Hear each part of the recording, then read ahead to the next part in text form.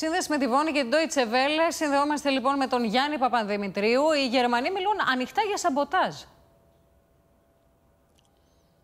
Ναι, γιατί η υπόθεση απασχόλησε βέβαια σήμερα το briefing του κυβερνητικού εκπροσώπου, ο οποίος ε, δήλωσε πως αποκλείεται να υπάρχουν φυσικά αίτια για αυτό το περιστατικό, για αυτές τις διαρροές, άρα ουσιαστικά επιβεβαιώνει την εκδοχή της δολιοφθοράς, χωρίς όμως ε, να κατονομάζει τη Ρωσία ή κάποια άλλη συγκεκριμένη χώρα. Ακολούθησε και άλλη ερώτηση στο briefing. Λέτε δηλαδή ότι έγινε επίθεση στις ενεργειακές μας υποδομές και ο κυβερνητικός εκπρόσωπος απάντησε: Δεν θα ήθελα να το χαρακτηρίσω αυτή τη στιγμή.